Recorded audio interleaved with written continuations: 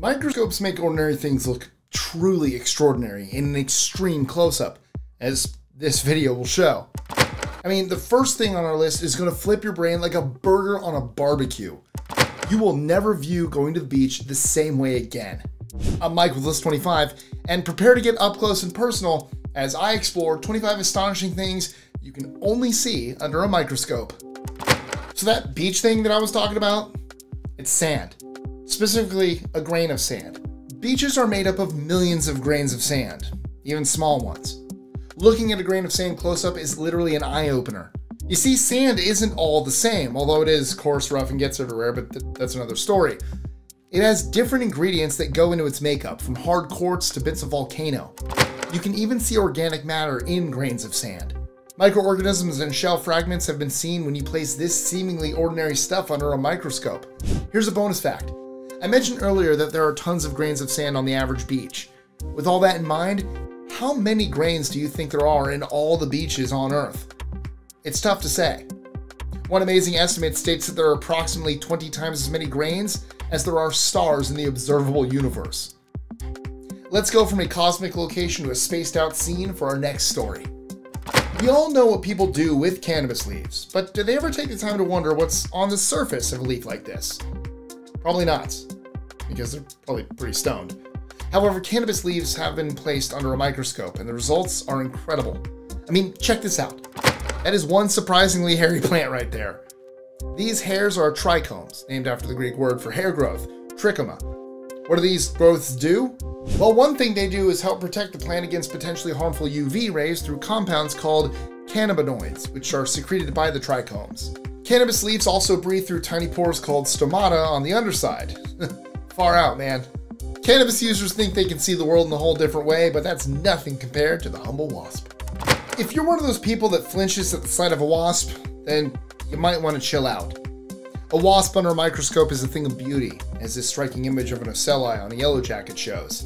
The word ocelli comes from the Latin word oculus, or little eye, but just because it looks like an eye that doesn't mean it's what the insect relies on to see with. These yellow jacket ocelli found between the wasp's compound eyes are more designed as light detectors and for navigation. The wasp also uses them as a warning system.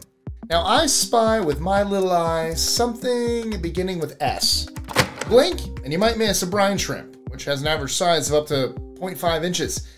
That would be a shame due to the sheer level of detail you can see when it goes under a microscope. For example, alongside its compound eyes, or eyes containing lots of little lenses, you have the median eye in the middle. This is crucial when the shrimp is growing from baby to adulthood because it can't see out of anything else yet. After it's grown, the shrimp relies on its compound eyes, of which there are two. You can't miss those because they're waving around on stalks. From creepy things that see to crawly things that smell.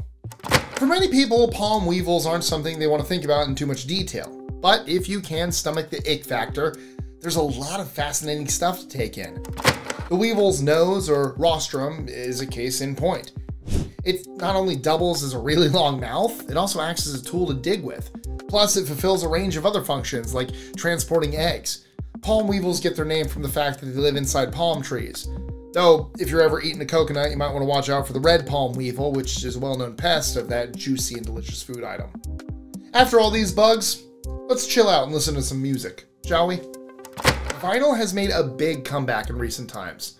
However, there's more to playing a vinyl record than just sticking a needle in a groove. Close up analysis of these grooves reveals a kind of miniature landscape. It might be surprising to you that they aren't just simple indentations in the record's surface. After all, that's how they look to the naked eye. Why do the grooves look like this? It's so the needle of your record player can read the ups and downs of the music you're listening to. The grooves have left and right sections, reflecting the left and right sound sources you need for stereo. Plus, the shape of the grooves are designed to be a solid, readable version of the music's sound waves. Without them, you wouldn't be able to hear your favorite track at all. From needles to blades for an important part of a daily routine, surely shaving cream is just a big white blob, right? Wrong. Even shaving cream under a microscope is a wild visual ride. Check it out to see how different it looks up close. That doesn't look anything like shaving cream. It's more like an image from space. It turns out you need a combination of things in order to keep that household item nice and blobby. One thing that's noticeable about shaving cream up close are all those air bubbles. Without the air, you wouldn't be able to apply the cream evenly. Meanwhile, the compound glycerin is vital for lubrication. You wouldn't want to run a blade down your neck without it being fully lubricated, right? Now, what snacks do microscopes love the best? If you've ever seen the Tron movies, you might find this microscopic view a little familiar. In fact, the digital world of Tron wouldn't exist without what we're seeing here, namely a microchip. The transistors, or electrical switches, plus the different connections needed to help a machine process vast amounts of data from a simple yet highly detailed image. Here's a quick bonus fact. Did you know that the very first microchip was patented way back in 1959? It was first unveiled by electrical engineers Jack Kilby and physicist Robert Noyce, who each produced their own chip. A fascinating detail about Kilby is that he worked at Texas Instruments, who produced the handheld calculator, plus the iconic Speak and Spell children's toy. The inventors of the microchip planted seeds that changed the world. But now, on a simpler plant based note, lotus flowers are pretty to the naked eye, and they're also gorgeous under a microscope. The petals growing inside are a thing of beauty in themselves, but the wax coated leaves that surround the flower are well worth a deep dive. The wax on these help protect the plant, something you can observe through the effect this coating has on water. Despite looking delicate, the lotus flower is tough on the outside, making any water form into a ball shape if it lands on the outer leaves. Working in the garden makes you thirsty, so you may want to grab a drink. You probably know about citric acid through soft drinks, where they boost flavor and help create carbon dioxide, hence making your drink nice and fizzy. Put it under a microscope, however, and you see a whole new world of acidic goodness. Citric acid has a crystalline structure, meaning it looks truly magical when magnified. The pointed crystals look exceptionally stunning when you use polarized light to study them with. Polarized light is essentially a more organized form of light. Another great thing about viewing citric acid with a microscope is that it reveals the ordered nature of this useful ingredient, something that isn't noticeable without the extreme magnification. If you think salt is boring, then you clearly haven't thought about the subject in depth.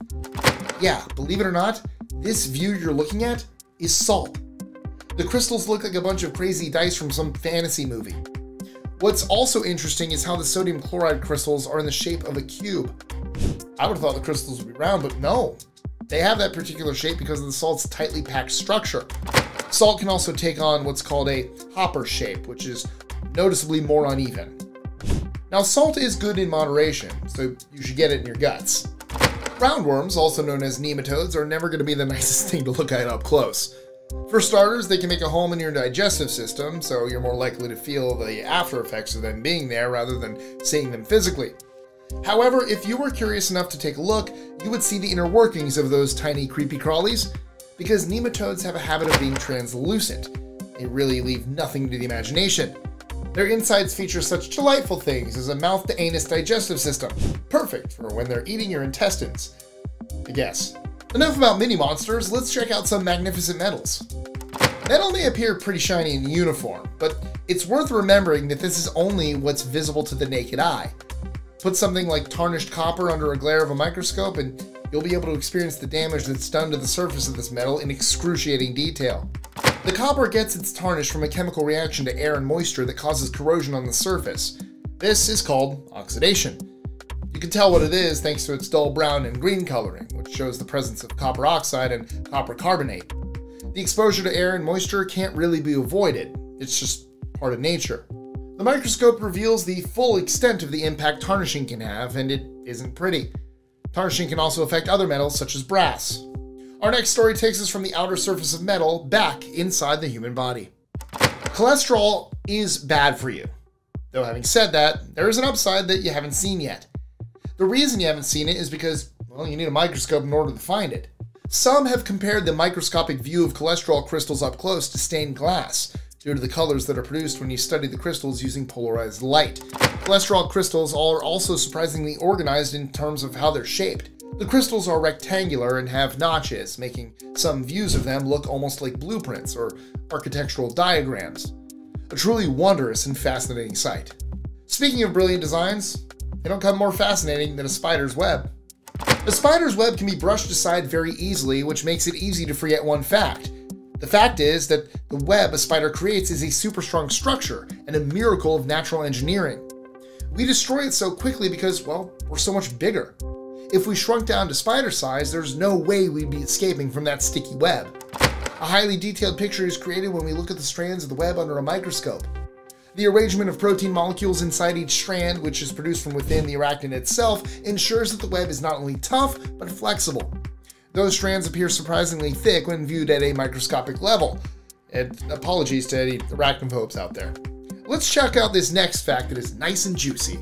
Tomatoes are so bright, colorful, and juicy that the leaves the plant grows from are frequently overlooked. Get them viewed in a super close-up, however, and you get to see how things go down in Tomato Town. You have the veins transporting water and nutrients in the same way that human veins move precious blood around the body. You can also see the stomata, which is basically the leaf's filtration system processing the air and using the carbon dioxide it extracts for photosynthesis. Even more incredible than that are the inner workings of the leaf, where the mesophyll cell network lies. Think of the mesophyll network as a photosynthesis factory with chloroplasts turning light into chemicals. I'm sorry, wait, what's that fluttering around my tomato plant? Butterflies feature a range of pretty patterns on their wings. However, when you go deeper, through the lens of a microscope, you begin to appreciate just how intricate these seemingly delicate little insects are. Here's a fact that's gonna blow your mind. Did you know butterflies have scales? Yes, they have overlapping scales that you can see under a microscope, but also with the naked eye. This happens when you handle a butterfly that leaves dusty traces on your hands. Don't worry, it isn't part of the butterfly's coloring or even butterfly poop. What you're seeing is residue from the scales of the butterfly. The scales are designed to tilt, helping the beautiful creature to flutter around where it needs to. Float like a butterfly, sting like a... Oh, you know the next part. Whoa, what is this I'm looking at here? Is this a video about the beauty of microscopes or a scene from Texas Chainsaw Massacre? Actually, this is the stinger of a bee, which is probably not a reassuring thought. The idea of being stung by a bee is freaky enough without seeing the barb it's going to be doing it with. It's a fascinating, if not grim, part of the insect's anatomy, with those jagged edges designed to jab in and lock onto your skin. The venom is passed into your system, and you're in for one long and painful ride. The good news is that it would take a lot of stings for the bee attack to be fatal, and bees tend to die after just one. God, hair really does get everywhere, as our next story shows. I have a mind boggling fact that you may not have known before. The fact is that your lungs have their own hair. Or rather, they have their own super small hair-like attachments called cilia. The cilia, which of course can be viewed under a microscope, acts as a sweeper, moving to forcibly eject stuff that might be causing any breathing difficulties. Mucus is an obvious substance to expel, and your cilia can also remove dust. While some have compared their appearance to little fingers, the word cilia comes from the Latin word cilium, or hair slash eyelash. The subject of eyelashes is covered in our next story, though it's actually the eyelashes themselves that are covered. Now, I hate to break it to you, but you probably have tiny parasites crawling around on your eyelashes. This sounds majorly icky, however, you should remember that it's a pretty common thing to have. These mites, known as Demodex mites, shouldn't harm you, so long as there aren't too many of them. One way of literally keeping an eye on Demodex mites is to look at them under a microscope. They can be properly assessed. They are segmented and see-through, meaning they aren't the easiest things to spot. Their microscopic size enables them to live in places as cramped as your hair follicles, plus your sebaceous glands, which lubricate your skin with natural oil. There's no need to be ashamed of skin mites because, well, everybody has them. We're turning green now for a deep dive into lichen. We're turning green now for a deep dive into lichen. Lichen is that green stuff that grows on rocks, right? Yes, it is. There's more to it than that. There's a lot going on with lichen, and you have to study it under a microscope to get the full picture. Lichen not only has its own food source, generated through photosynthesis, but it also has its very own construction team that makes sure it keeps on growing. Let's take a closer look at what I just described. The microscope shows us these two important elements in perfect detail. We have the photosynthetic algae and a bacteria called cyanobacteria, which the lichen relies on for photosynthesis. We also have the fungi that nurtures and protects the lichen as it spreads out, i.e. the construction crew. I'm liking what this microscope is doing with lichen. Something else that grows is plaque on our teeth, which we tackle with toothpaste. Here's a fact that'll make your mouth hang open. There are tiny beads inside your toothpaste. Not all toothpastes have them, however, microbeads used to be a staple part of your mouth hygiene routine. We now know that using plastic in this way is not great for our health nor the environment, so it's become less of a thing in recent times. The spherical beads can be viewed in detail when you get a microscope lens trained on them, which begs the question, what do they actually do? Well, they were intended to aid with the scrubbing process, something that continues today, only the beads are biodegradable. Now, microplastics get everywhere. In fact, you'll probably see them in sea creatures such as clams. We eat clams, but how hygienic are they? Well, it may comfort you to hear that they have their own internal siphoning system. When looked at under a microscope, you can see how strange and intriguing this is. The clam essentially inhales and exhales using the siphons. There's an in-current siphon that inhales the water, oxygen, and algae needed for its survival, and there's the excurrent siphon, which exhales, and when it does so, it expels carbon dioxide and anything nasty it can do without. Unfortunately, you still have to clean clams because one of the things they can tolerate inside them is, well, mud, grit, and sand. Here's another life form that shows a whole new side to itself close up. Beetle shells are another one of those natural features that appear simple and straightforward, until you get them under a microscope. Far from being a smooth, hard surface, the exact level of detail you'll find on a beetle shell is astonishing. The shell, or exoskeleton, is made of something called chitin. What's that? Well, chitin is a polymer that not only makes the shell strong, but also flexible. It has grooves and pores you simply couldn't see without a microscopic lens. In addition to this fascinating sight, there are colorings and quirky little growths that are actually visible to the naked eye. Whew, is it me? Or is it getting cold in here? Whew. We now arrive at what is arguably the goat of stuff that looks incredible under a microscope namely snowflakes. The really fascinating thing about them is that they're both symmetrical and uniform, but also varied and diverse from flake to flake. You've probably heard the old expression that no two are the same. This pretty much guarantees a visual feast every time you look at one. Its precise hexagonal shape is only the beginning of an amazing journey into all the different things a snowflake can contain. These include plates, spokes, and columns. We can't rule out the possibility that there are identical snowflakes out there, however, I am willing to bet that you won't find a matching pair anytime soon. Well, it's time to leave the world of microscopic madness and head back to full-sized reality. This video really goes to show that size isn't everything. But before I head off, I have a question for you. The world's smallest sculpture measures 0.02517 millimeters by 0.02184 millimeters, but what is it a sculpture of? Is it A, Spider Man, B, a microscope, C, the Eiffel Tower, or D, a piece of Lego? Leave your answers in the comments below. Science is incredible enough in normal size. If you want to see more, our video on 100, yes, count them, 100 mind blowing scientific facts is available to watch right here. Thank you guys so much for watching, and don't forget to hit that subscribe button, especially if you find yourself returning to our channel, and tap that notification bell so you stay up to date on all our new and future videos. Thank you guys so much for watching, and I'll catch you again next time.